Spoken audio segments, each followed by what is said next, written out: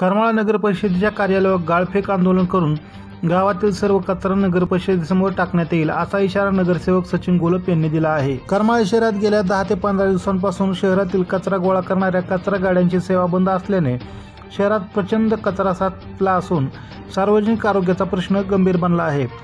जागोजागी कचऱ्याचे ढीग साचले असून गत दहा दिवसापासून गटारींची स्वच्छता करण्यात आलेली नाही.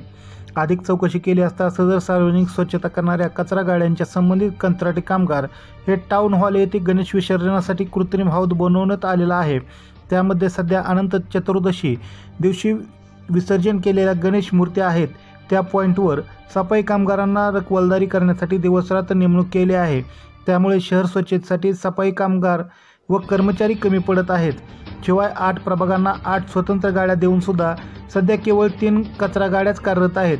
इतर गाड्यांना दुरुस्त असून गॅरेजला आहेत असे जाणून बुजून खोटे उत्तर प्रशासनाकडून सांगण्यात येते. नवरात्रीनिमित्त आपापल्या घराची स्वच्छता करून रंगरंगोटीची कामे करीत आहेत.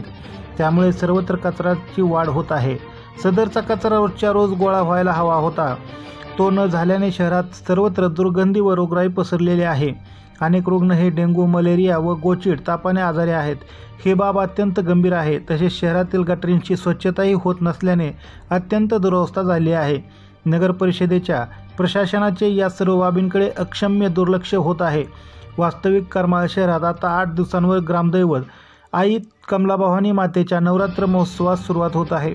त्यापूर्वी तातडीने शहर स्वच्छता मोहीम घेऊन शहरातील सर्व कचरा गाड्यांद्वारे प्रत्येक गल्ली वॉर्डामध्ये कचरा गोळा करून गटारी स्वच्छ कराव्यात. याबाबत तातडीने आठ दिवसात सदरची कारवाई करावी अन्यथा करमाळा नगर परिषदेच्या कार्यालयावर गाळफेक आंदोलन करून गावातील सर्व कचरा नगर परिषदेसमोर टाकण्यात येईल असा इशारा माजी नगरसेवक सचिन गोलप यांनी दिला आहे.